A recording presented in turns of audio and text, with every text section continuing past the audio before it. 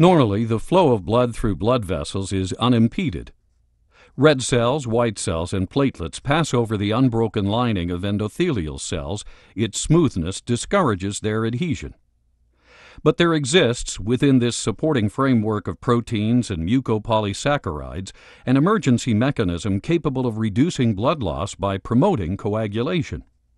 This is the extracellular matrix, or ECM. The first reaction to an injury involving the epithelium comes from the damaged epithelial cells themselves.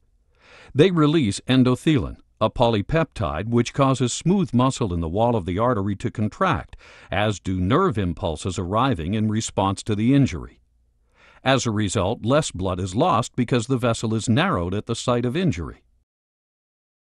The exposed ECM releases von Willebrand factor, this attracts platelets to the damaged area and promotes adhesion between these platelets. It forms bridges between platelets and the underlying extracellular matrix.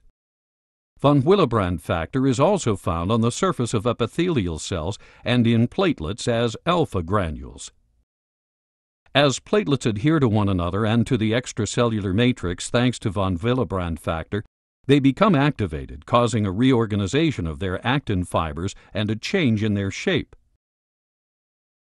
This in turn exposes their lipoprotein surface to the blood clotting factors.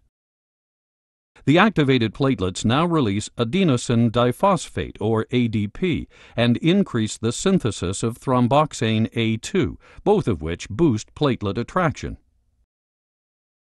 Both of these molecules attract more platelets to the injury site, expanding the platelet mass and further plugging the breach. Secondary hemostasis is the process of stabilizing the clot. It begins with the coagulation cascade, a sequence of events which develops with explosive speed, ending in the formation of a fibrin clot. It starts when factor VII binds to tissue factor. This activated complex attaches itself to the platelet surface, setting the cascade in motion. It activates factor 10 so that there is a rapid increase in the level of activated factor 10, 10A in the blood. Activated factor 10 cleaves prothrombin, yielding thrombin. In turn, thrombin cleaves fibrinogen to form strands of fibrin. We have been tracing the rapid response pathway of clot formation, from injury to the cells lining blood vessels through to the formation of the fibrin network. This pathway is known as the extrinsic system. But there is another slower pathway called the intrinsic system, which may be triggered by exposure of blood to a negatively charged surface, such as collagen or glass. The two systems are indeed complementary pathways which join at the level of activation of factor 10.